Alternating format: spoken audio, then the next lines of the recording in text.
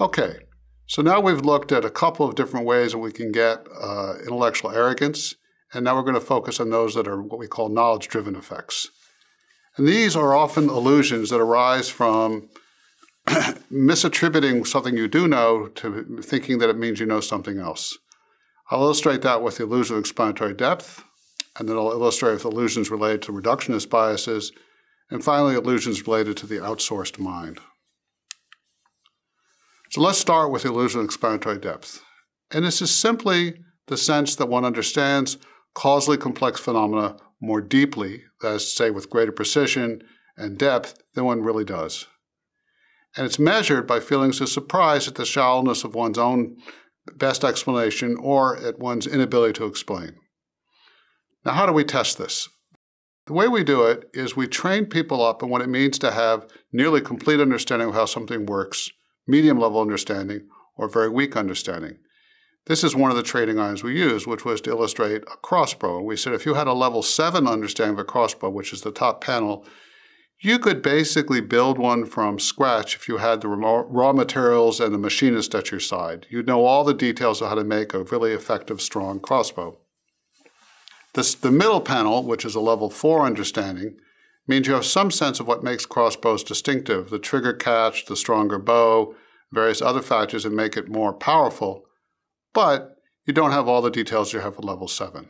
And finally, the level 1 calibration, which would be scoring yourself as level 1 understanding crossbow, means you know it's something that shoots bows and arrows, but you really don't know anything functionally different between it and a classic bow and arrow.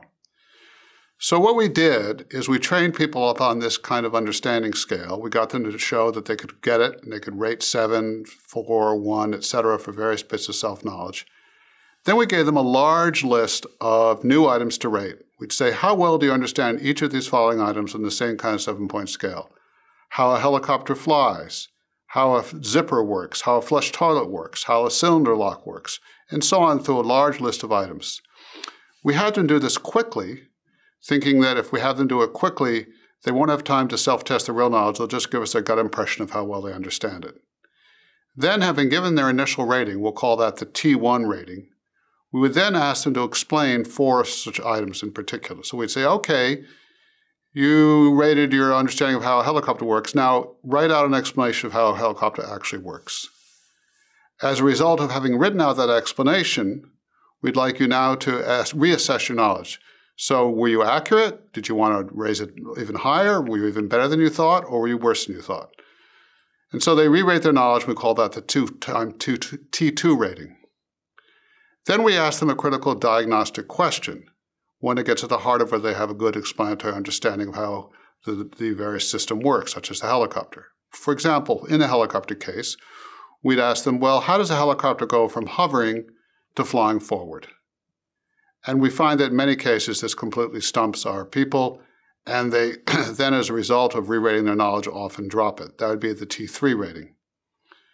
And then we showed them a full, concise, but quite detailed expert explanation of how a helicopter works. And we had them read it carefully. And we said, okay, given that this is what is a really good explanation of how a helicopter works, what do you think your initial understanding was? How close was it to this? Was it still a seven or a six, like you said, or do you want to make it lower or perhaps even higher? That would be the T4 rating. Finally, having done all that, we then say, please study this expert explanation carefully and re-rate how well you think you know how helicopters work in light of having read this explanation. We did that last item for the reason that we wanted to show that we didn't get these people so discouraged they couldn't ever rate their knowledge as being high. And the typical results look like as shown on this graph. Focus your attention initially on the dark blue line, the upper line. The T1 rating is often quite high. Let's say this is a helicopter. They're thinking they know quite, quite a great deal about helicopters work. The T2 rating drops quite a bit, which means that after having tried to explain how a helicopter works, they're surprised at how little they know. The critical question, which is T3, causes a further drop down. So now when they're asked about how a helicopter goes from hovering to flying forward, they drop further. They stay low when we ask them to compare what they thought they knew to an expert explanation, but then we show that they can jump right up at the end. So this was our initial result in this task, and we replicated a number of times. But one thing that emerged in our studies was that depending on the background and expertise of our participants, the illusion was often stronger. So the top panel was a study initially done with grad students. We did it with undergraduates, many of whom thought that they would be much more humble, they were in fact more arrogant. So their drop is further. Their initial rating is just as high, but their actual drop goes down further down. Now, it's important to understand that the illusion of explanatory depth is not the same as other illusions of knowing. We find a strong illusion for understanding, for ratings of how one understands devices and natural phenomena. Those are the two bottom graphs, so there's a strong drop. But if you have people rate their knowledge of procedures, facts, or narratives, there's very little drop, eh, sometimes none at all. So, for example, if you say, How well do you know how to make an international phone call? People are actually fairly calibrated whether they know how to do it or not, and their ratings are not that far off. Or if we ask them how well they know certain facts, such as the capital of Tasmania, they tend to be fairly well calibrated. Finally, even narratives, which have a richer structure, people tend to be better calibrated. If you say, How well do you know the plot of a well known movie, such as Avatar? they're pretty accurate in their self assessment of how well they know the plot. So, this illusion of knowing, this illusion of explanatory depth, really is especially powerful for explanatory kind of knowledge, not for all kinds of knowledge. It's weak or not even present for facts and procedures and narratives. It holds for political explanations, so understanding how one, well one can make political arguments or explain political effects, it holds. It also holds somewhat for evaluations of what others know, so it's not just self enhancement. And it increases as people get younger. So you can do the same task in ratings of knowledge with young children, and the illusion is even stronger. We want to caution that it's not the same as general overconfidence because the fact that it's much less for facts, procedures, or narratives suggests that something different is going on. So, why do we have the illusion of explanatory depth? Well, part of the reason has to do with knowledge misattribution effects. What we can call one particular reason for the effect may have to do with a function for mechanism confusion.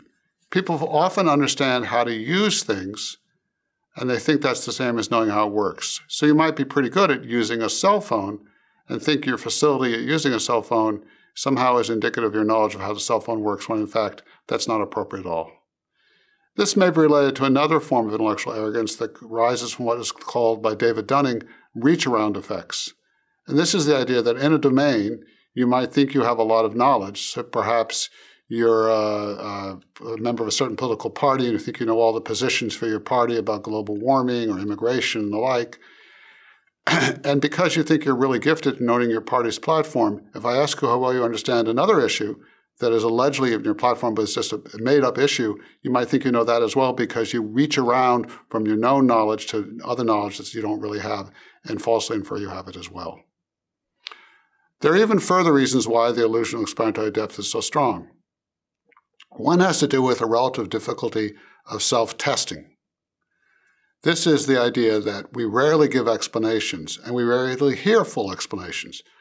For that reason, there's relatively little data about how good we are at it, how good others are, are, are giving them to us. Explanations often have virtually unbounded depth. You can go deeper and deeper and deeper, and so we often rarely get a full explanation of a sense of its completeness or its quality. But you often hear things like facts or procedures being described in, in full. And finally, there may be something called the entity present bias, which is the mistaken inference that one knows how something works completely because one can figure out how it works once in front of them. For example, if I gave you a simple mechanical stapler and I asked you to explain to me how does that stapler work, you might actually do a great job with stapler in front of you. You could talk about the springs, the push mechanism, the staples themselves and how they're advanced to the stapling location and the like. But if I asked you to draw me out a diagram of how a stapler works with none present, you might miss out all sorts of critical features and not be nearly as competent at knowing how it works as you think. So people often confuse the ability to decipher or figure out something on the fly with the object or entity present with having all that information in one's head.